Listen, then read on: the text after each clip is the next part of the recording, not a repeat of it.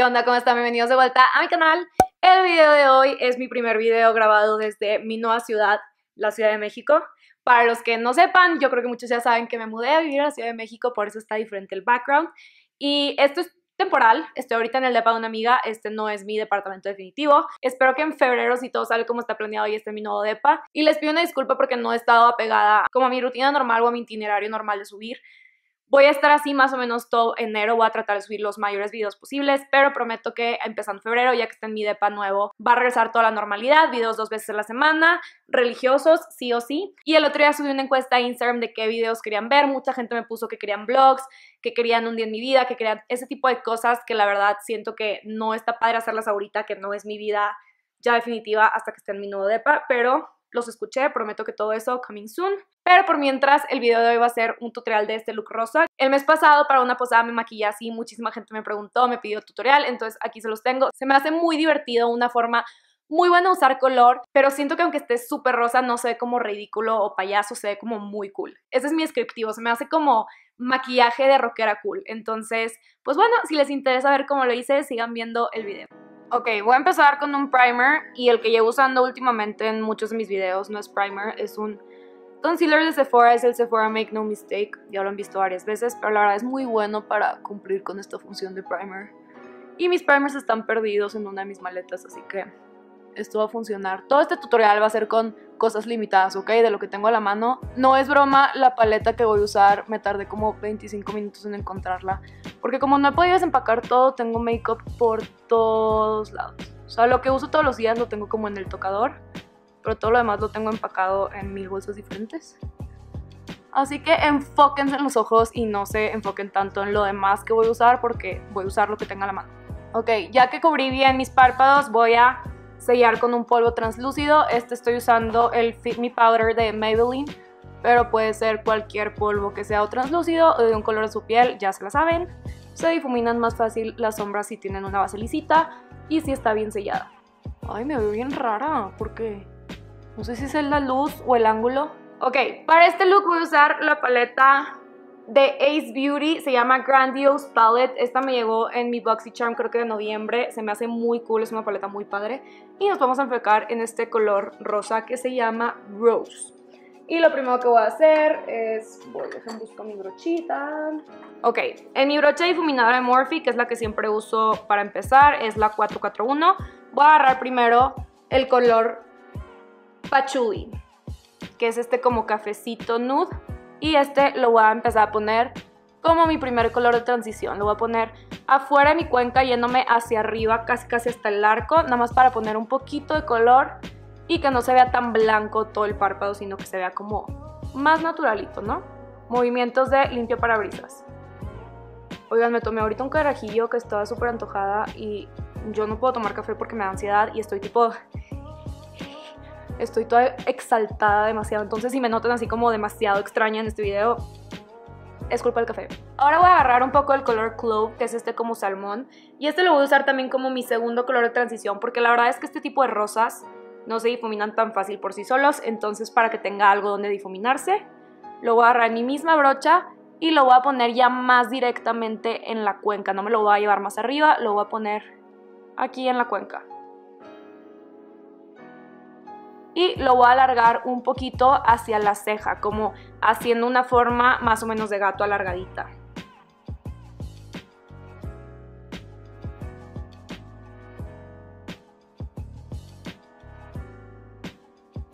Alargamos hacia la ceja. Ya que quedé bien naranjita y bien como difuminado mi color, no tiene que quedar ninguna intensidad particular porque no se va a ver este color, se va a ver nada más del rosa, pero es para que se difumine todo más fácil. Voy a tomar una brocha, igual que esté como peludita, pero más chiquita y más compacta. Este es el Luxie y esta es la 121 Mini Tapered. Y voy a agarrar ahora sí el color Rose, que va a ser el principal. Es este rosa como eléctrico. Y le voy a quitar el exceso. Y este lo voy a empezar a poner con pulsaditas y con palmaditas a ir estampando el color. Empezando abajito en mi cuenca y lo voy a llevar hasta dentro de mi párpado.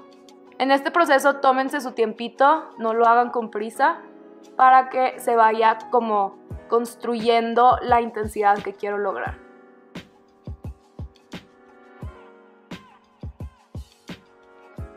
Este color no lo quiero llevar más arriba de mi cuenca, quiero que se quede ahí donde se ve la arruguita, quiero que se quede abajo de esa arruguita, entonces cuiden de no llevarlo más arriba.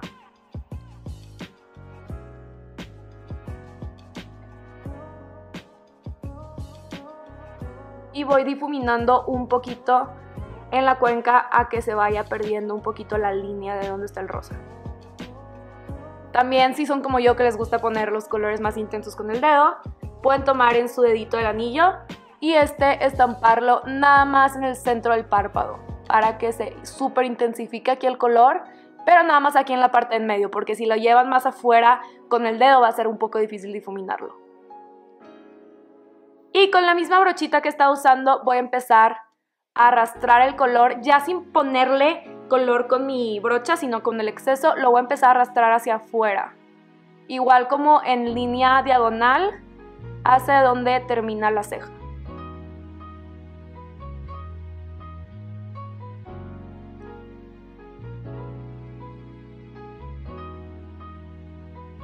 Esa es la forma que queremos lograr, como ven esta súper gráfica, es como muy alargada y muy como, es casi como un triángulo y ya que está esa forma y ya que está la pigmentación que quiero, nada más voy a pasar con una brocha difuminadora y voy a borrar y limpiar un poquito la orillita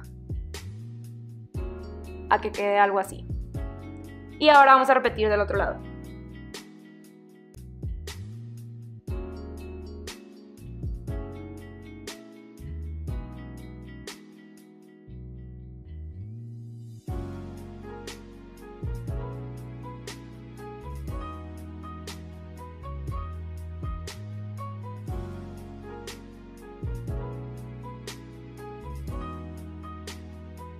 Ya que acabé con los ojos, voy a limpiar el exceso de las sombras que se me cayó abajo de los ojos para poder empezar con la cara bien limpia. Y si sienten que se pasaron muy para abajo las sombras, pueden pasar también a limpiar y a marcar más precisa la línea de aquí abajo.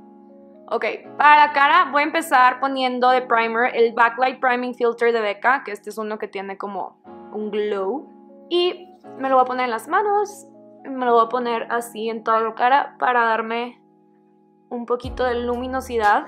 Nada más así se ve como súper natural el glow. Y de base voy a usar... Bueno, no sé dónde está la base que quería, pero no importa. Voy a usar lo que tenga a la mano. Esta no es la base ideal para este tipo de look, porque no me haría este tipo de look para el día. Lo haría para un evento más como formal y más glamuroso, donde sí queda fotografías. Y las bases con protección solar no son las mejores para fotografías, pero ignoremos esto, usen la base que quieran. Esta es la Number 7 Instant Radiance Foundation. Esta sí tiene protección solar, entonces no es ideal para fotografiarse, pero vamos a pretender que no tiene SPF. Y la voy a difuminar con esta brochita de Crown.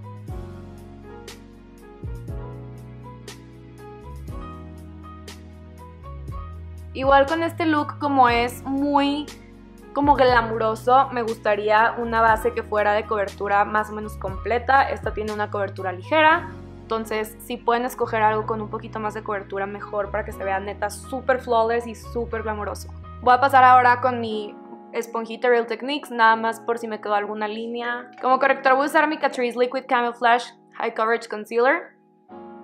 Y como mi base no está tan pesado, voy a cargar un poquito más el corrector para que sea todo más flawless. Y voy a difuminar igual con mi esponjita.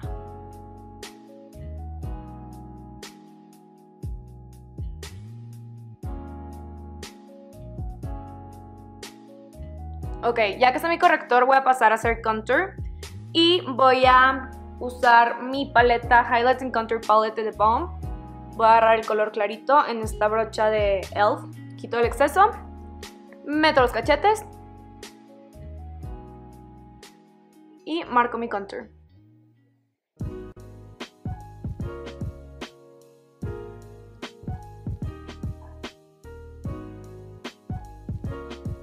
De blush voy a usar nada más poquitito porque no quiero que robe la atención de los ojos.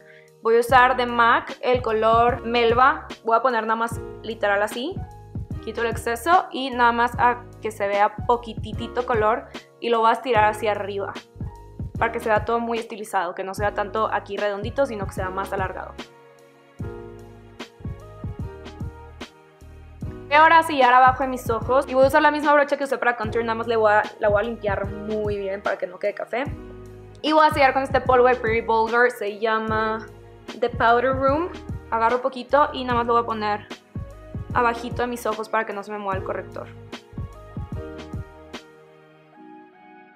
Como highlight voy a agarrar el Highlighting Powder de Wet n Wild en color Precious Petals, que es como un rosita champañita. Y voy a iluminar las partes altas de mi cara, arriba de mis pómulos, arco de la nariz, arribita de mi boca. Y voy a pasar ahora a terminar mis ojos. Y para la parte de adentro de mis ojos también voy a usar este mismo color. Nada más voy a empezar primero otra vez con mi paleta y con el rosa. Y lo voy a agarrar en una brocha de lapicito para abajo de mis ojos de este rosa. Y lo voy a poner más o menos en medio de mi ojo, pegadito a las pestañas.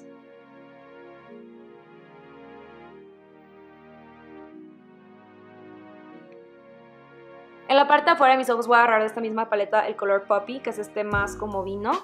Y este lo voy a enfocar en la parte de afuera de mis ojos. Y lo voy a juntar un poquito acá arriba. Para que se vea más definición y más profundidad afuera.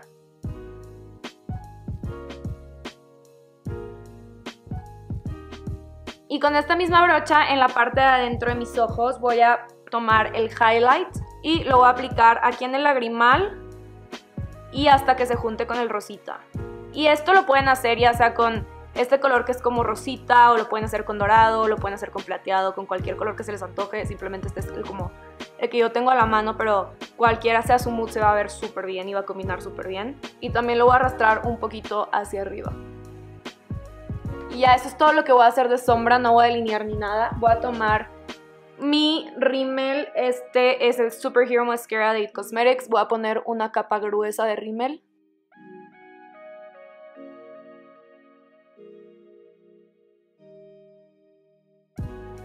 Y voy a poner también abajo.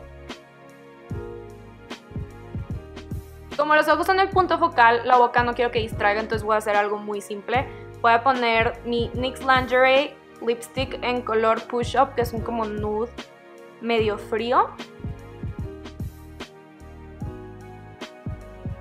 Y para que sea más rosito voy a pasar arriba con mi Catrice Volumizing Lip Booster, que es este que tiene como un color más rosita. Y siento que no quedó lo suficientemente rosita, entonces nada más voy a pasar arriba en medio con un lipstick de L'Oreal. Este es en color Pink Fever. Digo, no tienen que hacer todo esto, nada más pónganse un gloss que sea más rosita. Yo porque les digo que estoy usando lo que tengo a mi alrededor. Este no lo voy a poner aquí en el centro. Y ya siento que así amarra más con los ojos. Y eso fue todo.